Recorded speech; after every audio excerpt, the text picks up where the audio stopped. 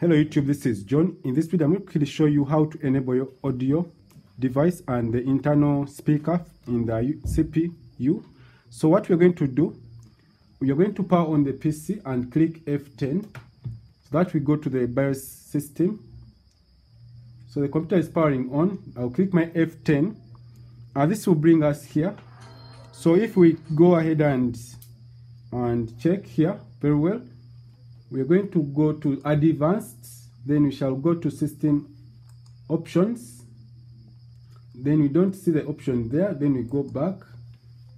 Uh, we shall go to sorry about that input devices. And we have our audio devices disabled and the internal speaker disabled. And this is how you enable your sp internal speaker and audio device on your HP laptops or HP desktops and this would work in the same way. So after here, I'm going to just go ahead and click F10 to save changes. Then our computer will boot and we shall be good to go. So this was just a quick video on how to enable those options in the BIOS system.